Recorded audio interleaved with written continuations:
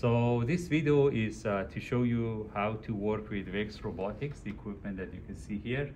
So the VEX Cortex is the main brain, and then I connect that with the USB to the computer. So my plan is to actually to code this robot. You can see this robot comes with different components. The VEX Cortex, the, the main brain, has input and output. If you look into here, I have on the outputs, I have different motors, motor 1 going through 10. So motor 1 and 10, they are 2 pin. If I use any other motors, they come with 3 pin, so I need to use the extension for the motors. But for now, I just connect them to 1 and 10. So motor 1 is connected to one side of this. So let me flip the robot, you can see underneath. So I have one motor here and one motor here that they are connected to number 1 and number 10 in the robot main brain. In the other side, I have inputs. So the inputs from the robot is one sensor in the front. That's what like ultrasonic range sensor.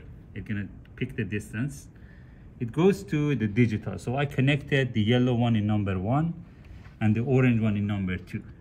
And I have a button connected to number 11 of the digital. So I have to like make a note of this.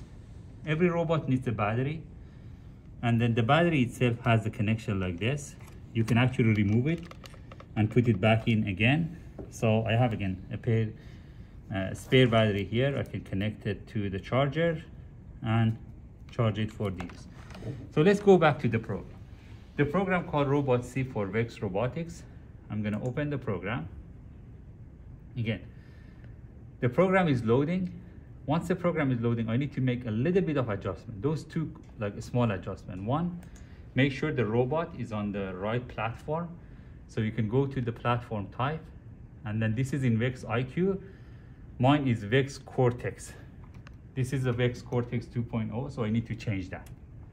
That's the first thing I change. Then I can start to write a program for it.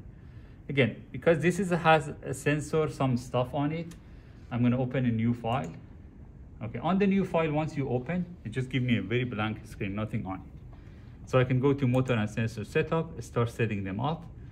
So motor one, I'm going to call this like left motor. You can call it whatever you like. I'm going to call it left M. The port 10 was connected to the to the right motor. Again, I don't know what's right and left is, but I'm just giving them a name. The type of a motor, I'm going to select 393 motor. That's the type of motor connected to this. Again, type of motor that we have here.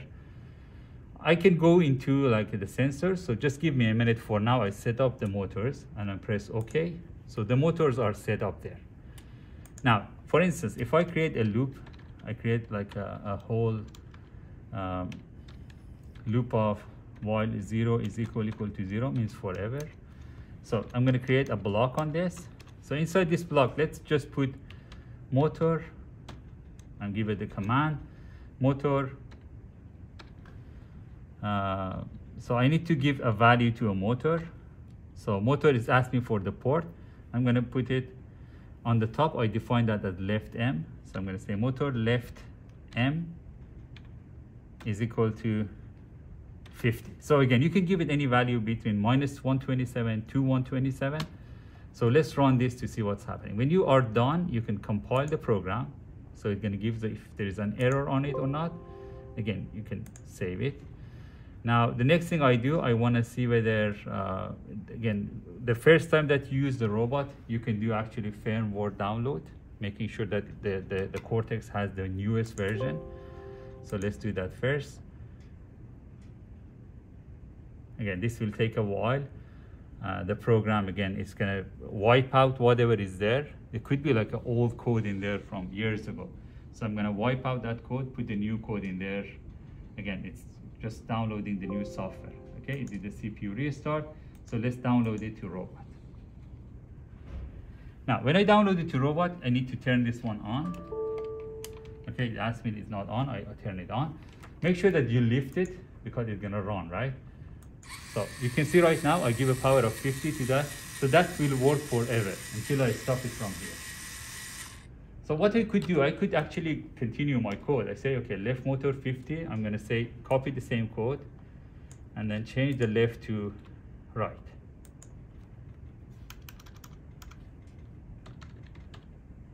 right m is equal to 50. So let's download to robot again. And then start it again. Now you can see this is going forward, this is going backward, right? Mm -hmm. So I don't want this to happen. What I'm gonna do, I'm gonna change this 50 to minus 50 and then download it to robot again. Now if I check, it should move forward with the speed of 50. Now let's put it on the floor and see what's going on. You go with the constant speed of 50 until I stop it from here. So it actually carried the USB with, with it. So we can, we, can, we can remove that in the program.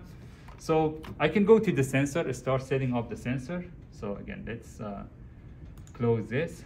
Go back to the program. I need to define the sensor. So we go to motor. Uh, the type of sensor we use is a digital sensor. And then is number one is a sonar sensor. I'm going to use centimeter.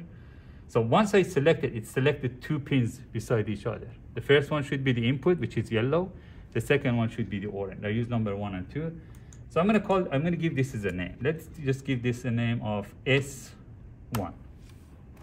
Okay, so S1 will give me the distance. Now, if I don't anything, if I just compile the program, and then let's load it to robot. Now, the, the, again, the robot is already connected to the sensor. If I bring my hand here, I should see some values here. I don't see them. So I may need to go to view and then to robot and look for debugger window. Okay? Debugger window, show the values for sensors. Now you can see if I bring my hand here, it should show the value here. So let's start it. You see it's showing the sonar. The distance right now is at Minus 1 meaning infinity, but if I bring my hand in front of it, it's come like to 15, 12, and then you can clearly see the distance here, making sure that the sensor is working.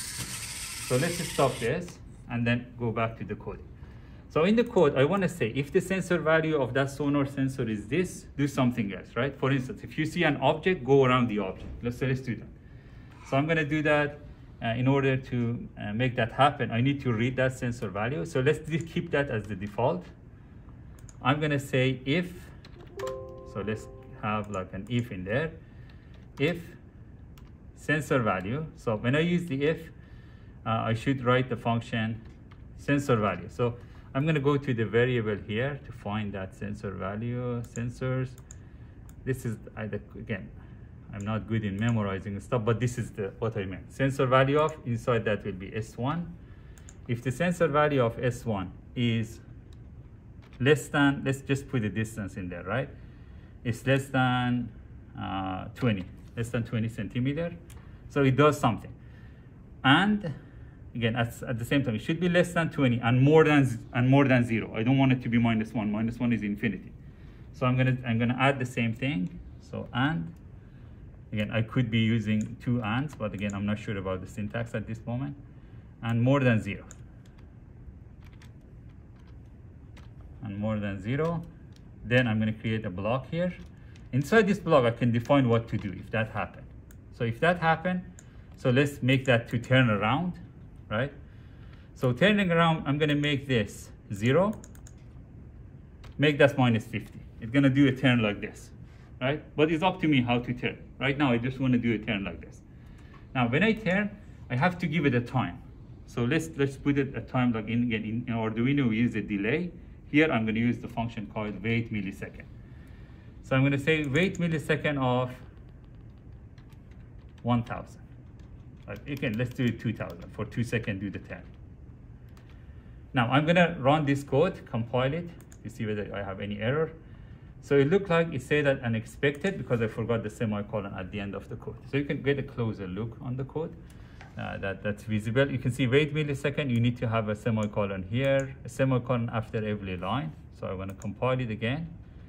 Okay, I don't see an error. Hopefully it's gonna work this time. So let's download it to robot and then see what's going on. I'm gonna start the robot. Yeah, the battery is very low, unfortunately, but hopefully it's gonna work for a second. So right now it's seeing my hand because the sensor value is like this. It keep turning, right? It's gonna move forward you see that? That's the, that's the cycle for turning. Let's move one more time. the cycle of two seconds is over. That's the robot is turning. So if I put this on the floor, it's not gonna hit any object. So if I, it's gonna reach to the wall, you see it's gonna turn again. Right now it's a little bit problematic because the battery is very low, so it doesn't have sufficient power to do the run. So again, this was a very basic overview of VEX robotics. Thank you for watching.